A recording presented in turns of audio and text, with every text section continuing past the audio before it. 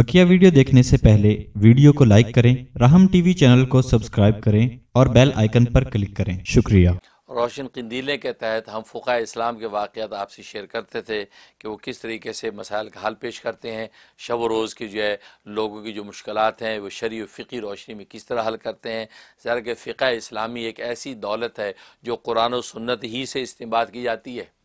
क्योंकि वो मसाइल शरिया जो कुरान में सराहतन मौजूद नहीं आदिस नबी में सराहतन उसका हुक्म मौजूद नहीं है तो फ़ुका इस्लाम को अल्लाह तबारक व उसके लिए मंतखब कर लेते हैं। तो फ़ुका इस्लाम कुरान सुन्नत ही की रोशनी में से वो उसका इस्तेमाल करते हैं, उस मसले को अखज़ करते हैं और उसको जो है वह इजमा उम्मत या क़ियास शरी के नतीजे में उस मसले का भी हल निकाल लेते हैं कि जो मसला जो है जिसकी सराहत कुरान और हदीस में मौजूद नहीं होती।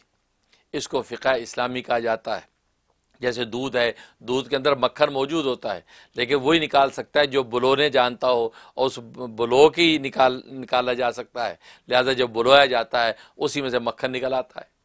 तो बिल्कुल इसी तरीके से ज़मीन है, और ज़मीन के अंदर बोरिंग करके पानी निकाला जाता है। हालाँकि पानी पहले से मौजूद है तो पानी निकालने वाला पानी बनाता नहीं है। पानी को जो है, वो ज़ाहिर करता है। पैदा नहीं करता, ज़ाहिर करता है। बिल्कुल इसी तरीके से फ़ोका इस्लाम का कमाल ही होता है कि मसाइल शरिया कुरान और हदीस में मौजूद होते हैं। ये उनमें से निकाल के ज़ाहिर कर देते, इसको इस्तेबाद कहा जाता है। कुरान करीम ने इसी को यस्तम्बितूना हो कहा कि वो इस्तेबाद कर लेते हैं। नबत इसी को कहते हैं, पानी ज़मीन से निकालने को नबत कहते हैं। तो ये निकालना जो है, वो पानी पैदा करना नहीं है पैदा शुदा पानी को ज़ाहिर करना है। इसलिए बात जो है नादान, इससे गलत फहमी का शिकार होते यार फ़िका क्या चीज़ है? ये कुरान और हदीस से हटके कोई चीज़ है? नहीं हटके चीज़ नहीं है। वो वो वो समझते हैं कि शायद ये उसके कुरान सुन्नत कुरान सुन्नत, कुरान हदीस के मुकाबले में कोई दूसरा इलम है। तो भाई, जैसे मैंने बताया कि जो है, वो ज़मीन में से पानी जो है, वो निकाल के जो ज़ाहिर किया जाता है तो वो पानी निकालने वाला जो है, वो पानी पैदा नहीं करता, पैदा अल्लाह ने कर रखा है, ये उसको ज़ाहिर करता है। इसी तरीके दूध के अंदर मक्खन है तो मक्खन पैदा नहीं करता मक्खन निकालने वाला उसको ज़ाहिर करता है। वो ऑलरेडी मौजूद है।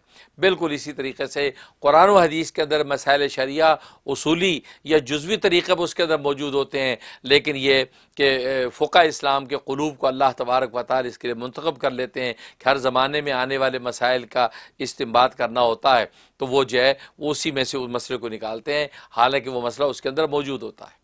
उसकी बेशुमार मिसालें हैं। जैसे भैंस की मिसाल है, भैंस का गोश्त हलाल है और उसका जो दूध हलाल है या नहीं? ये एक ऐसा सवाल है, ना उसको जवाब कुरान में मिलेगा आपको, ना किसी हदीस में मिलेगा। तो फिर भैंस का दूध कैसे हलाल हो गया? इसका गोश्त कैसे हलाल हो गया?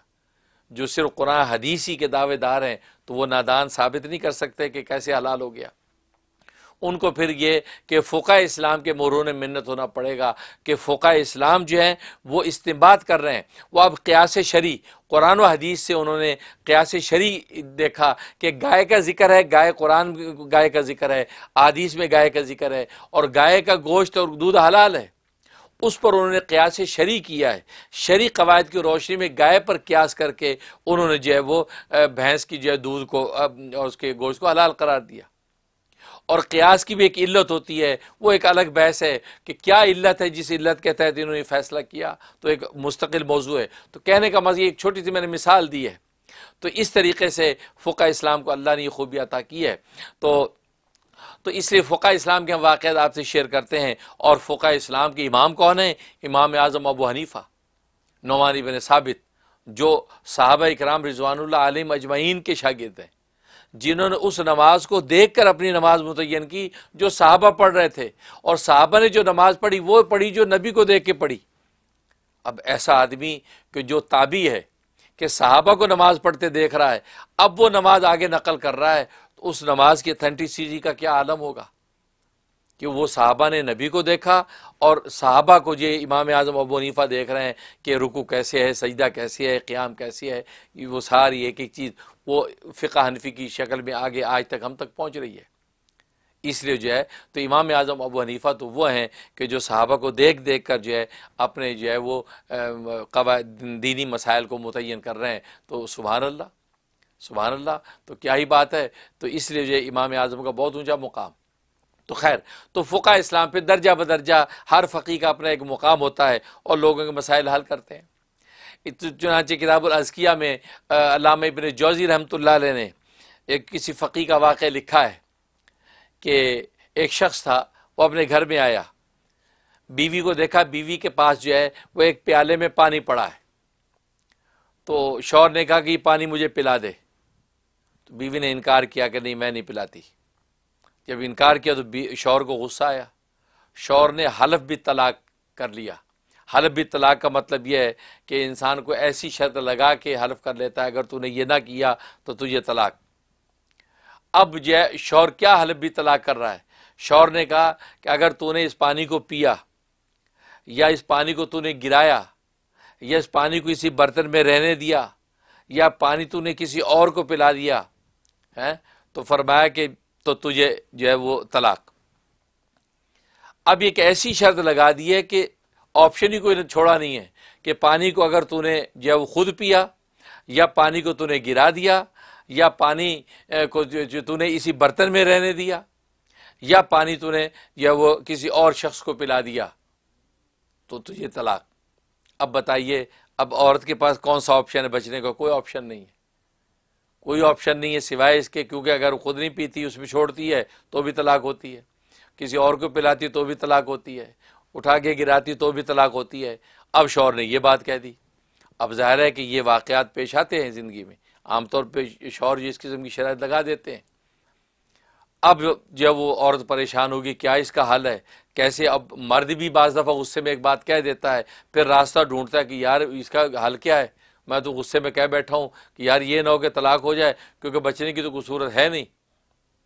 तो वक़्त के जो फ़की थे, उस फ़की इस्लाम के पास ये मसला रखा कि भाई हज़रत, में ये, हम ये कर बैठे हैं, अब करें क्या? पानी गिराते हैं तो तलाक होती है, पानी पीते हैं तो तलाक होती है, किसी दूसरे को देते हैं, पिलाते हैं तो तलाक होती है उसी बर्तन में रहने देते तो तलाक होती है।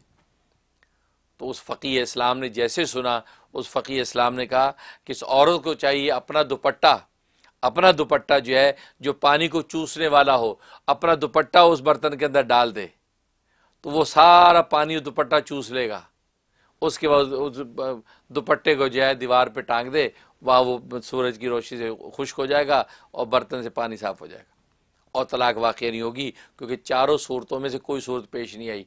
ना तो उसने खुद पिया, ना जो है वो किसी दूसरे आदमी को पिलाया, ना उसने गिराया और ना बर्तन में रहने दिया। अब देखो, ये है फ़ोका का कमाल। अब देखो, एक ऐसी सूरत है कि जिसमें बज़ाहिर हमारी अकलें बंद नज़र आती हैं। लेकिन फ़की के सामने जब आया तो अल्लाह ने वो उसको फ़हम और तफ़क़ अता किया है।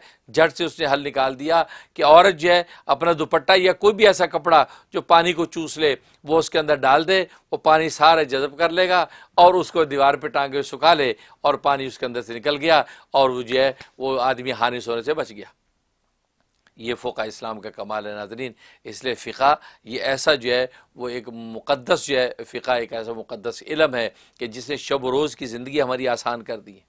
और वो मसाइल शरिया के जो कुरान और सुनत में सराहतन जो है डिस्कस नहीं हुए। उसका हल जो है फ़िका इस्लामी के जैसे हमें मिल रहा है कि जिसको जो है वो इजमा और कभी जो है वो कैसे शरी से। तभी जो है वो फरमाते हैं कि दलाल शरिया असल में चार हैं। कुरान, हदीस इजमा और क्यास, ये दलाल शरिया हैं। इन चार दलाल शरिया के तहत कोई भी शरी मसला साबित हो जाता है, वो शरीयत का मसला है। कुरान से साबित हो गया सुबहान अल्लाह हदीस से साबित हो गया सुबहान अल्लाह इजमा उम्मत से साबित हो गया सुबहान अल्लाह या क्यास शरी से मसला साबित हो गया, वो सुबहान अल्लाह तो कहा कि ये चार दलाल शरिया हैं। तो चार दलाल शरिया में से किसी भी दलील शरी से मसला साबित हो जाए तो वो शरीयत का मसला होता है। अल्लाह से दुआ है कि अल्लाह तबारक व ताली अमल करने की तोफ़ी अता फ़रमाए। आमीन या रब्बल आलमीन।